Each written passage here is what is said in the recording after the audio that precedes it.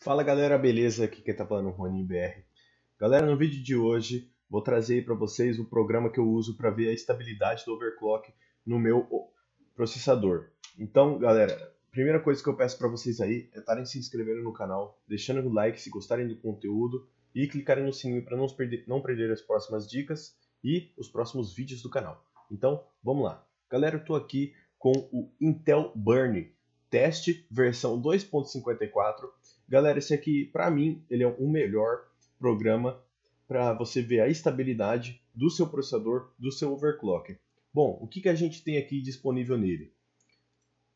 A gente tem aqui o modo do Windows 64-bit, o nível do stress que você quer fazer o teste, tem customizado, standard, alto, muito alto e máximo. Recomendo vocês aí estarem fazendo no Very High, que já está ótimo se passar.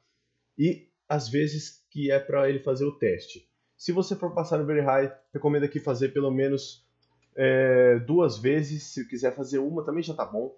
Ele demora ali cerca de 5, 6 minutos para fazer o estresse total. Aqui a gente tem mostrando a memória RAM disponível para fazer o teste. Não é a sua memória RAM total no seu PC.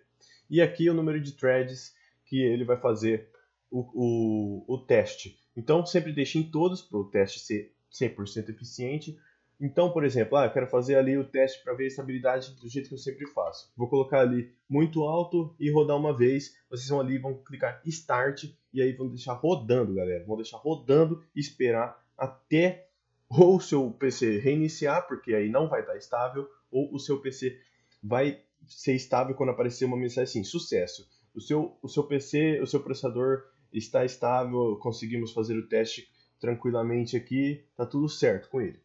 Galera, um programa que eu falo para vocês utilizarem junto na hora que vocês estiverem fazendo um teste é o CPU ID HW Monitor.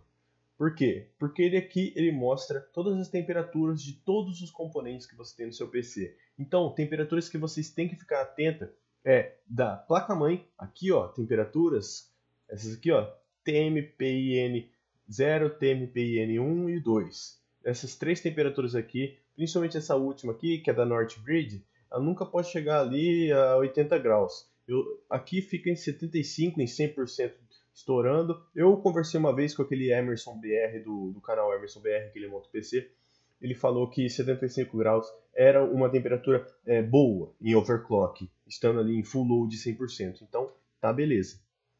O FX 8300 aqui, ele vai mostrar a utilização do processador a voltagem ali, os watts, né, o TDP, a temperatura atual dele e o clock que ele está atualmente. Então, como vocês podem ver, ele também tem a coluna mínima, que é o mínimo que houve até agora, e máximo. Então, sempre quando vocês forem passar o Intel Burn, façam desse jeito e deixem o HW monitor ligado do lado, acompanhando as temperaturas. Temperatura também que vocês têm que ficar atento é essa aqui, ó embaixo do processador, nunca pode chegar ali 70 graus. O máximo do que o FX trabalha é 70 graus. Se chegar no 70 e passar disso, cara, abaixa o clock, aumenta é, o nível de ventilação do seu gabinete, coloca um cooler melhor, alguma coisa assim, beleza? Galera, esse foi um vídeo rápido, um vídeo simples só mostrando o programa. Eu vou deixar o link na descrição desses dois programas que eu uso aqui.